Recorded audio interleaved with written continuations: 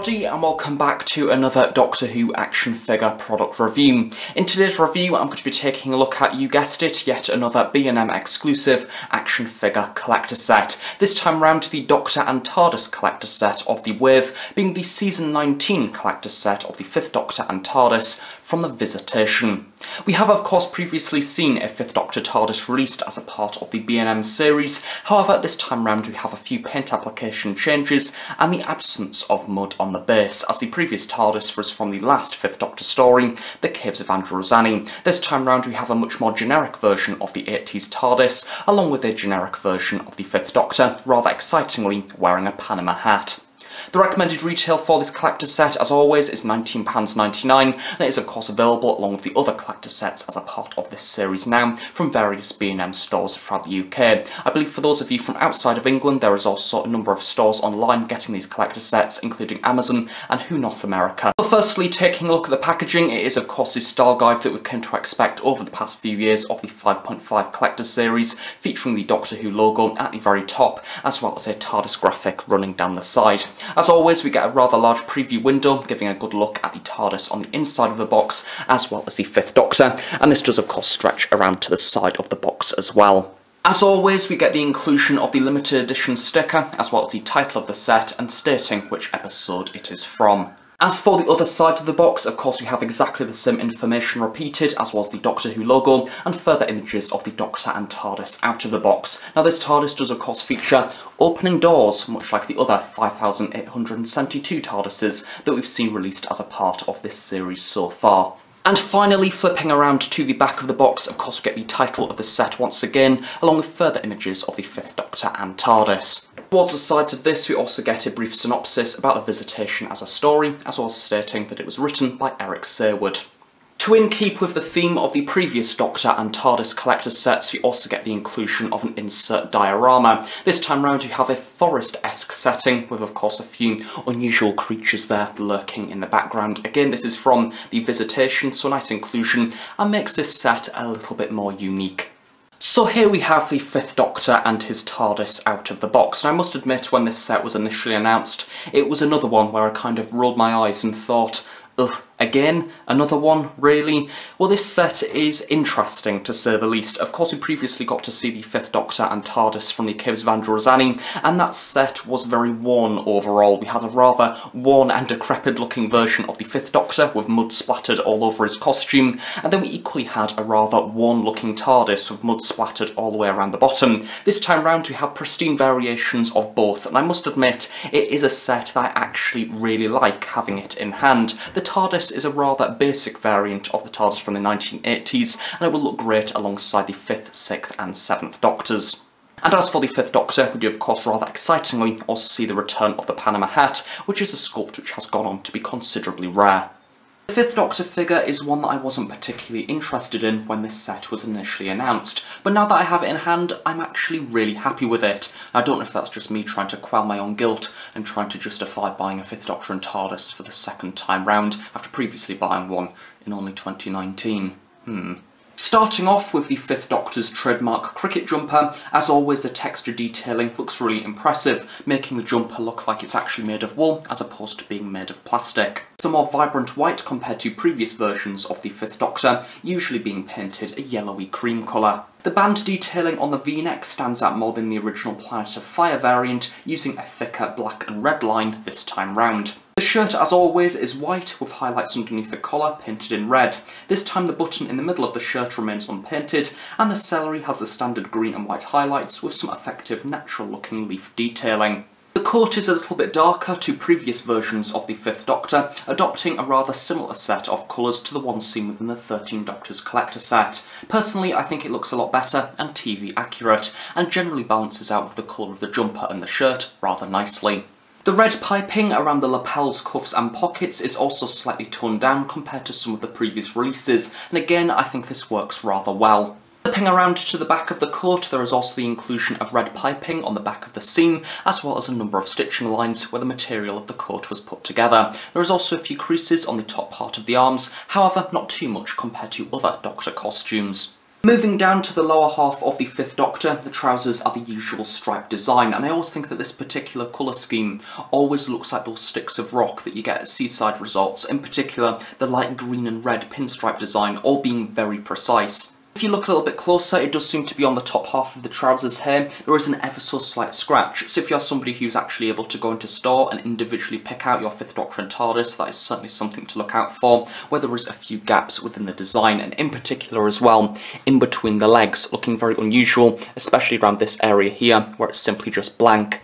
Unlike previous Fifth Doctor figures, the legs are actually sculpted in a cream plastic instead of being painted cream. The shoes are a vibrant white with no wash added over the top, which again is different to many other Fifth Doctor action figures and the previous Planet of Fire variant. The hands are sculpted in the usual style, one of which has been sculpted to hold a sonic screwdriver accessory, and the other in an open palm position. Like all the other previous B&M exclusive Dr. TARDIS collector sets, this Doctor does not come with any accessories, and given that this TARDIS and Doctor is meant to be from the season 19 story The Visitation, I think it would have been nice on this occasion to maybe have a sonic screwdriver for the fifth Doctor, given that this is one of the last ever times it would appear within classic series Doctor Who, as it is of course destroyed at the end of the story story. As for the likeness to the Fifth Doctor, I think that this is a really great sculpt, and there is of course a few subtle changes in paint application compared to the previous releases. The eye whites, iris and lips are all painted rather naturally, and the hair has a more prominent wash compared to the original release. In particular, flipping around to the sides, you can see a few individual strands of hair, especially as it collects around the ears. A welcome return for many is the inclusion of the Panama hat, previously quite a rare sculpt, only seeing two releases within the classic series line to date, this one being the third.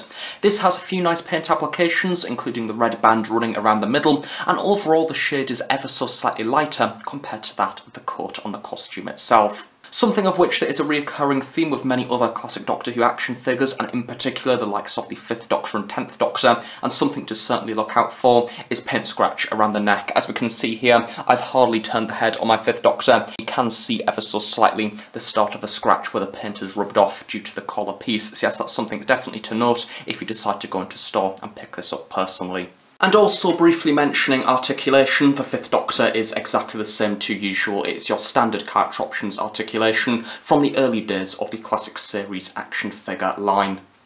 So in conclusion for the Fifth Doctor, to be honest, I really didn't expect to like this figure as much as I do. I think it is a really lovely yet generic version of the Fifth Doctor from his early serials. I think that overall the costume has been really nicely recreated. I love the changes that have been made to the paint application and overall it looks considerably accurate to what appears within the TV show itself. And not only that, of course, the return of the Panama hat, something of which that I wasn't too excited by when I seen that this set was coming out, partly because I already own the initial Planet of Fire version of the Fifth Doctor, but for those of you that don't, this is definitely a welcome addition to the collection, and it is nice to finally have a new version of the Fifth Doctor in a rather accurate looking costume that doesn't have mud splattered all over it.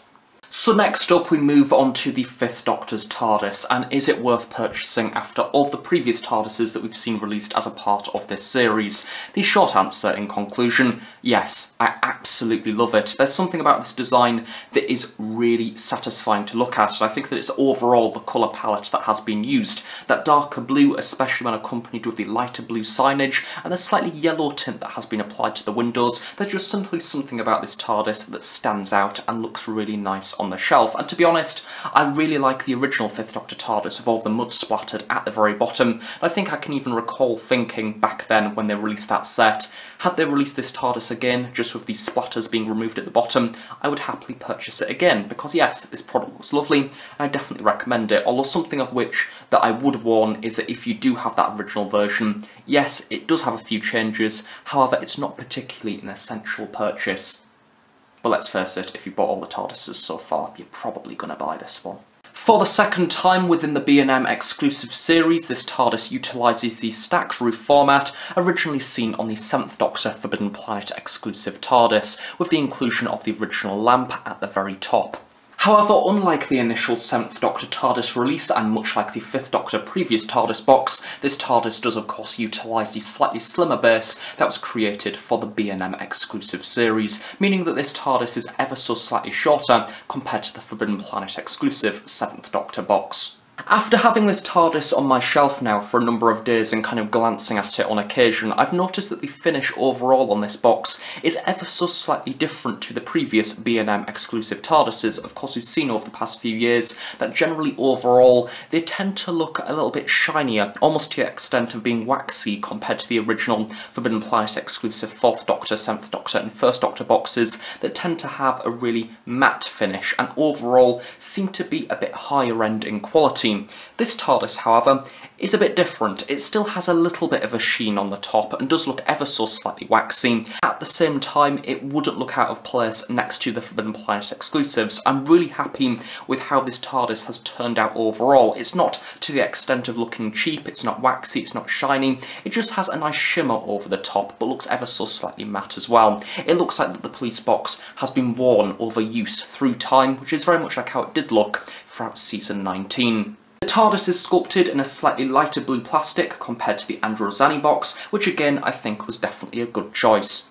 A wash has also been applied over the top of this in a kind of light brown colour, and it really gets into the cracks of the different panels, making them stand out a lot more, as well as emphasising that wood grain effect. I imagine if you're watching this review, you most likely have a number of Classic Series TARDISes already, so as a result, kind of know what to expect. Of course, the same detailing has been passed across from all the other TARDISes, as for the most part it is exactly the same sculpt. Therefore, it is basically the same detailing on each and every side. Again, this will vary between the different TARDISes, but of course you have the two windows and the panels with all the wash applied over the top. And then of course around the back we have the inclusion of the speaker grille, as well as the battery compartment, which is completely redundant for this release release as it is a non-electronic TARDIS, as after all, this is a budget £20 set, as opposed to the recommended retail price of £35 that was initially used for the electronic TARDISes as a part of the Forbidden Planet series.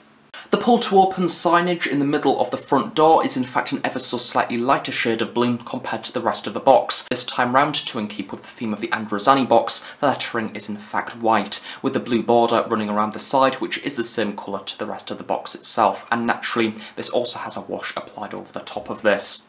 And then towards the opposite side we also have the inclusion of the standard handle which is exactly the same colour to the rest of the TARDIS and then just above this we have the inclusion of the lock which has been given a bronze highlight to make it stand out. Something of which that I did also mention within the previous Classic TARDIS review of the second Doctor TARDIS was that they've got rid of the plastic band within the packaging that holds the doors in place and instead they've decided to use a piece of sellotape over the top and again the same problem applies that did with the second Doctor TARDIS however a little bit less so this time round. I think that the design overall and the colour makes it less obvious however the problem with the previous TARDIS was that when you've taken off the tape along the front of the doors and the windows it basically taken off quite a lot of the brown wash and it left a band of no wash around the top half of the box itself and you can ever so slightly see a little bit of tape residue that has been left behind from that which is a little bit annoying however it's not as prominent as on the previous TARDIS box. And of course, much like with any other classic series TARDIS, the doors do open, of course to reveal absolutely nothing on the inside. We just have the old remains of the battery compartment, which of course this time round is completely unusable. Something of which to note as well is that mine does have a door problem. Of course you have that little nodule up there that's meant to keep the door in place, and it basically needs to be forced shut because it refuses to pop back up again. And of course on the other door, the main door, have the button there at the very bottom, it forces it to close. Another welcome return, however something of which that wasn't present on the original Forbidden Planet exclusive TARDIS boxes, is a wash that has been applied over the windows, and we have a little bit of dirt that is collecting in the lower half of each individual pane, really emphasising the window design, as well as exaggerating the frosted effect that is present on these two bottom panes here. Much like the wash that is applied to the entirety of this TARDIS, the wash does vary between each individual box, some will be more weathered than others. I think that quite possibly this might be my favourite design of Police Public Call box signage that has appeared within this series so far. There's just something about it that I really like. I love the fact that we've got that lighter blue background and then the bold white text on top that really stands out and sets this product apart from some of the other TARDISes that have been released within this series. Again, it is very similar to the Androzani prop, if not identical, and there is in fact a wash that has been applied over the top of this. It does seem to be ever so slightly less compared to that of the Androzani TARDIS. Again, it looks more pristine pristine and new. And finally, moving up to the top of the TARDIS, we have the inclusion of the stack roof formation, previously used on the other 5th Doctor TARDIS and the 7th Doctor TARDIS release. Again, much like the rest of the box, you have that wood grain effect that has been applied over the top of it to make it look less like plastic and more like wood, as well as a few smaller designs in there, really emphasised by the wash added over the top. And of course at the very centre of this we do have the standard Classic Series TARDIS lamp that was used on the initial Forbidden Planet exclusive releases. This has been nicely sculpted into clear plastic with of course the framework running around the sides as well as the dome at the top. As always this is sat on a rather large plinth. And of course the Fifth Doctor looks excellent displayed alongside his variation of TARDIS box. Now naturally due to this TARDIS being a pristine variation, not only will this TARDIS look good alongside the Fifth Doctor, but also the Season 18 Fourth Doctor, and even the Sixth Doctor as well. However, of course, naturally, being a big Sixth Doctor fan, I would love to see a Sixth Doctor TARDIS released at some point, maybe replicating the design seen throughout the Sixth Doctor photoshoot for his first season, including the white splashes of paint going around the sides. I think that a Sixth Doctor figure released as a part of the B&M series at this point might be quite a way off due to how precise and how many colours are used within the Sixth Doctor's costume. It might be ever so slightly out of budget for this line currently. So there we have it, that is the Doctor Who B&M exclusive 5th Doctor and TARDIS collector set from the season 19 story, The Visitation. Overall, this collector set is a bit of a hit and miss, to say the least. I absolutely love it. I think that the TARDIS is lovely. It's actually possibly my favourite TARDIS has been released in the entirety of this line to date. I would absolutely love it if it was electronic, and it feels like it belongs within the Forbidden Planet exclusive line of TARDISes that we got to see released many many years ago, and equally, the Fifth Doctor is also a brilliant variant from the early days of his era within Doctor Who. But that said, at the same time, this set has a lot of resemblances to that of the Fifth Doctor and TARDIS from the Caves of Androzani, and that collector's set was only released around a year ago, maybe ever so slightly more than that, so I think if anything it's the question of is it too soon, or maybe even was it really necessary for it to be a 5th Doctor set? Personally, I would have loved for this to be a 6th Doctor and TARDIS Collector set,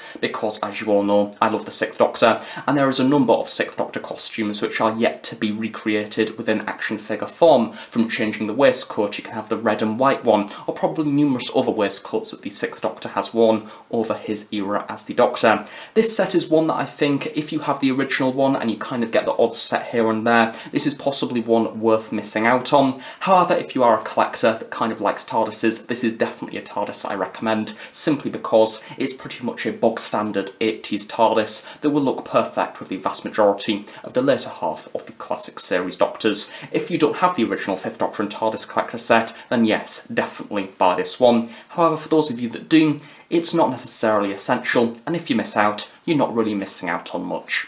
So thank you very much for watching this review, I really hope you have enjoyed it. Do of course check out my other Doctor Who B&M exclusive collector set reviews, as I have by now reviewed the vast majority of this wave, as well as the previous B&M collector sets. I do of course do regular Doctor Who content pretty much each and every week. So thank you very much for watching, have a nice day, stay safe, and I shall see you all next time. Bye for now.